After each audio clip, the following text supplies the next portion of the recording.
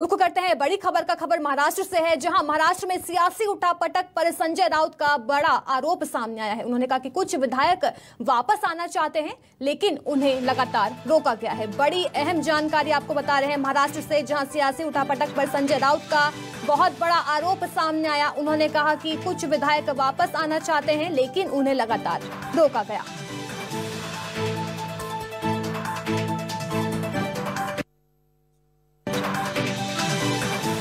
ये सभी लोग गुजरात में ही क्यों रखे जाते हैं? ये देश तो बहुत बड़ा है। हाँ? सूरत में है, मैंने सुना है। हमारा उनसे संपर्क हुआ है। हमारे सब एम एमएलए वहाँ हैं। उसमें से बहुत से लोग हैं वापस आना चाहते हैं, लेकिन उनको वापस आना नहीं दिया जा रहा है। उनकी घेराबंदी की है। ये घेराबंदी सिर्फ़ गुजरात में ही हो सकती है, क्योंकि वहाँ किस प्रकार की सरकार काम करती है। और केंद्र किस प्रकार से वहाँ अपना काम कर लेती है, आपको मालूम है। लेकिन जब भी मौका मिलेगा, हमारे सभी एम एल यहाँ वापस आ जाएँगे, क्योंकि वो निष्ठावंत, निष्ठावान शिवसैनिक है।